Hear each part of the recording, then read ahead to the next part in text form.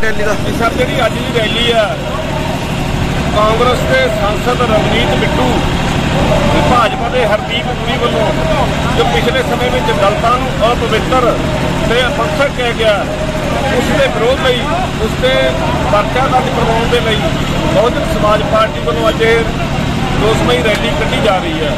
ਜਿਸ ਦਾ ਮਕਸਦ ਇਹ ਹੈ ਕਿ ਇਹਨਾਂ ਨੇ ਬਹੁਜਨ ਸਮਾਜ ਪਾਰਟੀ ਨੂੰ ਅਪਵਿੱਤਰ ਕਹਿ ਕੇ ਬਹੁਜਨ ਸਮਾਜ ਦੇ ਲੋਕਾਂ ਨੂੰ ਅਪਵਿੱਤਰ ਤੇ ਅਪੰਸਕ ਕਹਿ ਕੇ ਬਹੁਤ ਵੱਡਾ ਗੁਨਾਹ ਕੀਤਾ ਹੈ। ਸੋ ਇਹਨਾਂ ਨੂੰ 117 ਹਲਕਿਆਂ ਦੇ ਇਹਨਾਂ ਦੇ ਵਰਖਲਾਫ ਬਹੁਜਨ ਸਮਾਜ ਪਾਰਟੀ ਨੇ ਸ਼ਿਕਾਇਤਾਂ ਵੀ ਦਰਜ ਕਰਵਾਈਆਂ। ਬੜੇ ਦੁੱਖ ਨਾਲ ਕਹਿ ਰਿਹਾ ਕਿ ਕਾਂਗਰਸ ਨੇ ਅੱਜ ਤੱਕ ਵੀ ਇਹਨਾਂ ਤੇ ਕੋਈ ਕਾਰਵਾਈ ਨਹੀਂ ਕੀਤੀ।